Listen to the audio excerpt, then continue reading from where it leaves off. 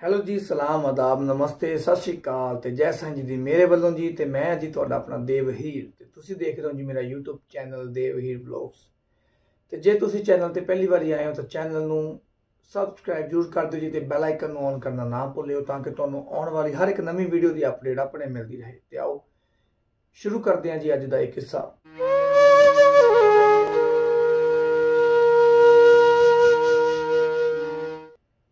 ਅੱਜ ਦਾ ਕਿੱਸਾ ਜੀ ਮੇਰੇ ਨਾਲ ਸ਼ੇਅਰ ਕੀਤਾ ਪੰਕੂ ਜੀ ਨੇ, ਜੰਮੂ ਤੋਂ ਨੇ। ਪੰਕੂ ਜੀ ਤੇ ਨਾਲ ਕਹਿੰਦੇ ਉਹਨਾਂ ਦੇ ਮੁੰਡਾ ਨਨੂ, ਜੰਮੂ ਜੰਮੂ ਦੇ ਵਿੱਚ ਰਹਿੰਦੇ ਨੇ।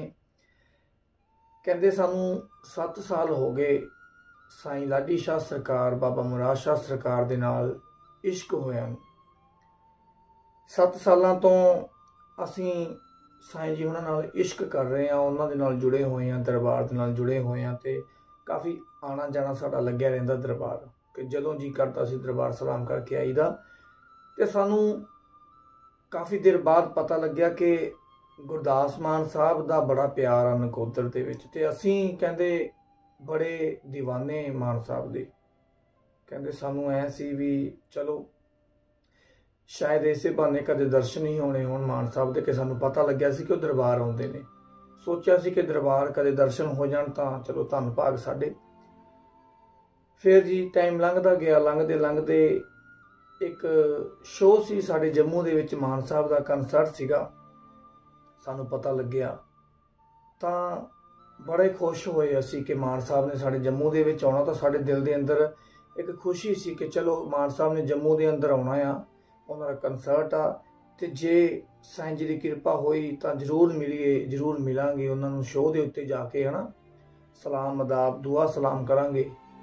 ਚਲੋ ਜੀ, ਅਸੀਂ ਕਹਿੰਦੇ ਸਾਈਂ ਜੀ ਦੇ ਅੱਗੇ ਸਲਾਮ ਕੀਤੀ, ਸਾਈਂ ਜੀ ਦੇ ਅੱਗੇ ਅਰਦਾਸ ਕੀਤੀ ਕਿ ਸਾਈਂ ਜੀ, ਗੁਰਦਾਸ ਮਾਨ ਸਾਹਿਬ ਨੇ ਜੰਮੂ ਕਨਸਰਟ ਦੇ ਉੱਤੇ ਆਉਣਾ ਆ ਤੇ ਤੁਸੀਂ ਕਿਰਪਾ ਕਰਿਓ ਕਿ ਮਾਨ ਸਾਹਿਬ ਨੂੰ ਮਿਲ ਲਈਏ ਅਸੀਂ ਉਹ ਸ਼ੋਅ ਦੀਆਂ ਸਾਨੂੰ ਜਿੱਦਾਂ ਵੀ ਬਸ ਜਿਵੇਂ ਮਰਜ਼ੀ ਹੋਵੇ, ਬਸ ਮਾਨ ਸਾਹਿਬ ਨੂੰ ਅਸੀਂ ਮਿਲਣਾ ਸੀ ਉਹ ਕਨਸਰਟ ਦੇ ਦੌਰਾਨ ਅਸੀਂ ਮਾਨ ਸਾਹਿਬ ਨੂੰ ਮਿਲ ਲਈਏ ਵੀ ਤੁਸੀਂ ਕਿਰਪਾ ਕਰਿਓ। ਚਲੋ ਜੀ, ਮਨ ਦੇ ਵਿੱਚੋਂ ਆਵਾਜ਼ ਆਈ ਕਿ ਯਾਰ ਜ਼ਰੂਰ ਮਿਲਾਂਗੇ। ਵੀ ਜੇ ਮਨ ਦੇ ਵਿੱਚੋਂ ਆਵਾਜ਼ ਆਈ ਤਾਂ ਐ ਲੱਗਿਆ ਕਿ ਸਾਈਂ ਜੀ ਨੇ ਜਵਾਬ ਦਿੱਤਾ ਕਿ ਹਾਂ ਵੀ ਜ਼ਰੂਰ ਮਿਲਾਂਗੇ। ਚਲੋ ਜੀ, ਜਿੱਦਾਂ ਜਿੱਦਾਂ ਦਿਨ ਨੇੜੇ ਆ ਰਹੇ ਸੀ, ਤਾਂ ਕਹਿੰਦੇ ਸਾਡਾ ਇੱਕ ਮੇਰਾ ਫਰੈਂਡ ਸੀ, ਕਹਿੰਦੇ ਮੇਰਾ ਇੱਕ ਫਰੈਂਡ ਸੀ, ਉਹ ਰਾਜਨੀਤੀ ਦੇ ਵਿੱਚ ਕਾਫੀ ਉਹਦਾ ਨਾਮ ਸੀ, ਤਾਂ ਕਹਿੰਦੇ ਮੈਂ ਉਹਨੂੰ ਕਿਹਾ ਕਿ ਯਾਰ ਇਦਾਂ ਕਰਕੇ ਜੰਮੂ ਦੇ ਵਿੱਚ ਤਾਂ ਜਿਹੜਾ ਸ਼ੋਅ ਹੋ ਰਿਹਾ, ਮਾਨ ਸਾਹਿਬ ਨੇ ਜਿੱਥੇ ਆਉਣਾ ਆ, ਤਾਂ ਜਿੱਦਾਂ ਮਰਜ਼ੀ ਕਰਕੇ ਸਾਨੂੰ ਉਸ ਸ਼ੋਅ ਦੀਆਂ 골ਡਨ ਪਾਸ ਜਿਹੜੇ ਨੇ ਵੀਆਈਪੀ ਪਾਸ ਸਾਨੂੰ ਉਹ ਦਿਵਾਓ, ਅਸੀਂ ਮਾਨ ਸਾਹਿਬ ਨੂੰ ਮਿਲਣਾ। ਤਾਂ ਕਹਿੰਦੇ ਮੇਰਾ ਫਰੈਂਡ ਕਹਿੰਦਾ, ਯਾਰ ਮੈਂ ਕੋਸ਼ਿਸ਼ ਕਰੂੰਗਾ ਵੀ ਵੱਧ ਤੋਂ ਵੱਧ ਮੈਂ ਕੋਸ਼ਿਸ਼ ਕਰੂੰਗਾ ਕਿ ਮੈਂ ਪਾਸ ਦਵਾ ਸਕਾਂ ਤੁਹਾਨੂੰ। ਵੀ ਬਾਕੀ ਦੇਖੋ, ਚਲੋ ਜੀ ਕਰਦੇ ਕਰਦੇ ਕਰਦੇ ਅਸੀਂ ਉਸ ਸ਼ੋਅ ਦੇ ਉੱਤੇ ਪਹੁੰਚੇ, ਸਾਨੂੰ ਪਾਸ ਨਹੀਂ ਮਿਲੇ। ਅਸੀਂ ਸ਼ੋਅ ਦੇ ਵਿੱਚ ਪਹੁੰਚੇ ਜਦੋਂ ਉੱਥੇ, ਤਾਂ ਮੇਰੇ ਨਾਲ ਜਿਹੜਾ ਮੁੰਡਾ ਸੀ, ਨਨੂ, ਕਹਿੰਦੇ ਮੈਂ ਉਹਨੂੰ ਕਿਹਾ ਵੀ ਯਾਰ ਕੁਛ ਕਰ ਅਰੇਂਜ ਕਰ, ਪਾਸ ਦਾ, ਜਿੱਦਾਂ ਮਰਜ਼ੀ ਕਰ। ਕਹਿੰਦੇ ਮੈਂ ਬਾਹਰ ਖੜਾ ਸੀ, ਉਹ ਮੁੰਡਾ ਅੰਦਰ ਗਿਆ। ਅੰਦਰ ਜਾ ਕੇ 1 ਘੰਟਾ ਹੋ ਗਿਆ, ਆਇਆ ਹੀ ਨਹੀਂ, ਆਇਆ ਨਹੀਂ, ਤਾਂ ਮੈਂ ਬਾਹਰ ਖੜਾ ਵੇਟ ਕਰੀ ਜਾਂਦਾ, ਯਾਰ 1 ਘੰਟਾ ਹੋ ਗਿਆ, ਤਾਂ ਵੀ ਸ਼ੋਅ ਸ਼ੁਰੂ ਹੋਣ ਵਾਲਾ ਆ। ਇਹ ਹਜੇ ਤੱਕ ਪਾਸ ਨਹੀਂ ਲੈ ਕੇ ਆਇਆ ਤਾਂ ਯਾਰ ਕੀ ਸਿਸਟਮ ਆ? ਮਨ ਦੇ ਵਿੱਚ ਨਾਲ ਨਾਲ ਅਰਦਾਸਾਂ ਚੱਲਦੀਆਂ, ਸਾਈਂ ਜੀ ਨੂੰ ਸਾਈਂ ਜੀ ਕਿਰਪਾ ਕਰੋ। ਮਾਨ ਸਾਹਿਬ ਨੂੰ ਮਿਲਣਾ ਆ, ਮਾਨ ਸਾਹਿਬ ਨੂੰ ਸਲਾਮ ਕਰਨੀ ਆ। ਤਾਂ ਮਾਨ ਸਾਹਿਬ ਨੂੰ ਮਿਲਾਂਗੇ ਤਾਂ ਐਂ ਲੱਗੂਗਾ ਬਸ ਸਾਈਂ ਜੀ ਨੂੰ ਮਿਲ ਲੇ। ਸੋ ਪਲੀਜ਼ ਕਹਿੰਦੇ ਸਾਈਂ ਜੀ ਕਿਰਪਾ ਕਰੋ, ਬਸ ਪਾਸ ਮਿਲ ਜਾਣ।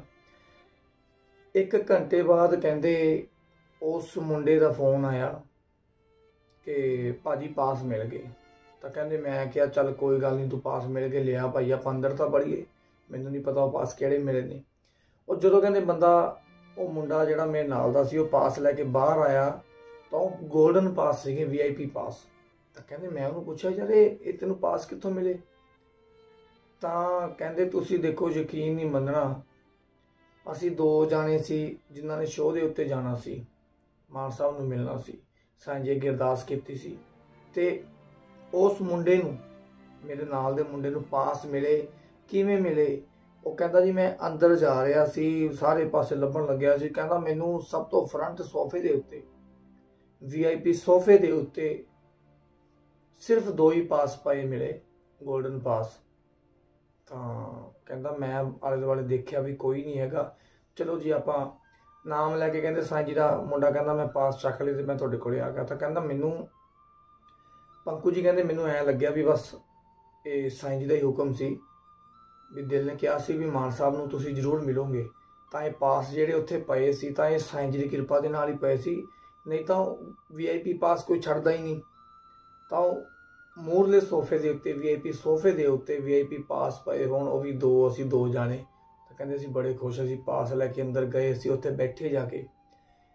ਜਦੋਂ ਬੈਠੇ ਮਾਨ ਸਾਹਿਬ ਆਏ, ਮਾਨ ਸਾਹਿਬ ਨੂੰ ਅਸੀਂ ਕਹਿੰਦੇ ਖੜੇ ਹੋ ਕੇ ਸਲਾਮ ਕੀਤੀ, ਤਾਂ ਮਾਨ ਸਾਹਿਬ ਨੇ ਵੀ ਹੱਥ ਜੋੜ ਕੇ ਅੱਖਾਂ ਬੰਦ ਕਰਕੇ ਬੜੀ ਨਿਮਰਤਾ ਦੇ ਨਾਲ ਸਲਾਮ ਕਬੂਲ ਕੀਤੀ, ਤਾਂ ਸਾਨੂੰ ਐ ਲੱਗਿਆ ਕਿ ਜੇ ਮਾਨ ਸਾਹਿਬ ਨੇ ਸਲਾਮ ਕਬੂਲ ਕੀਤੀ ਆ, ਤਾਂ ਇਹਦਾ ਮਤਲਬ ਕਿ ਸਾਈਂ ਜੀ ਨੇ ਸਲਾਮ ਕਬੂਲ ਕਰ ਲਈ।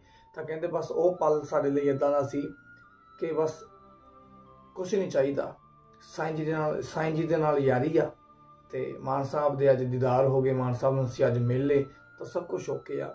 ਬਾਕੀ ਸਾਈਂ ਜੀ ਦੇ ਨਾਲ ਇਸ਼ਕ ਆ ਜੀ। ਸਾਈਂ ਜੀ ਨਾਲ ਇਸ਼ਕ ਆ, ਉਹ ਹਮੇਸ਼ਾ ਰਹੇਗਾ। ਦਿਨੋ ਦਿਨ ਵੱਧਦਾ ਰਹੇਗਾ। ਇਹ ਕਿੱਸਾ ਜੀ, ਪੰਕੂ ਜੀ ਉਹਨਾਂ ਦਾ ਉਮੀਦ ਕਰਦਾ ਤੁਹਾਨੂੰ ਚੰਗਾ ਲੱਗਿਆ ਹੋਊਗਾ। ਤੇ ਜੇ ਤੁਸੀਂ ਆਪਣਾ ਕਿੱਸਾ ਵੀ ਕੋਈ ਮੇਰੇ ਨਾਲ ਤੁਸੀਂ ਸ਼ੇਅਰ ਕਰਨਾ ਹੋਵੇ ਇੰਸਟਾਗ੍ਰam ਤੇ, ਤੁਸੀਂ ਮੈਨੂੰ ਫੋਲੋ ਕਰ ਸਕਦੇ ਹੋ। ਇੰਸਟਾਗ੍ਰam ਦੀ ਆਈਡੀ ਮੇਰੀ ਥੱਲੇ ਸਕਰੀਨ ਦੇ ਉੱਤੇ ਮੈਂ ਦਿੱਤੀ ਹੋਈ ਹੈ ਜੀ। ਤੇ ਵੱਧ ਤੋਂ ਵੱਧ ਤੁਸੀਂ ਮੈਨੂੰ ਜਿੰਨੇ YouTube ਦੇ ਉੱਤੇ ਹੋ, ਸਾਰੇ ਇੰਸਟਾਗ੍ਰam ਦੇ ਉੱਤੇ ਆ ਕੇ ਤੁਸੀਂ ਕੋਈ ਤੁਹਾਡੇ ਦਿਲ 'ਚ ਕਿਸੇ ਤਰ੍ਹਾਂ ਦਾ ਸਵਾਲ ਵੀ ਹੋਵੇ, ਤੁਸੀਂ ਮੈਨੂੰ ਸਵਾਲ ਵੀ ਪੁੱਛ ਸਕਦੇ ਹੋ। ਮੈਂ ਤੁਹਾਡੀ ਇੰਸਟਾਗ੍ਰam ਤੇ ਹਮੇਸ਼ਾ ਵੇਟ ਕਰਦਾ। ਤੇ ਮਿਲਦੇ ਹਾਂ ਜੀ ਜੈ ਸਾਈਂ ਜੀ ਦੀ।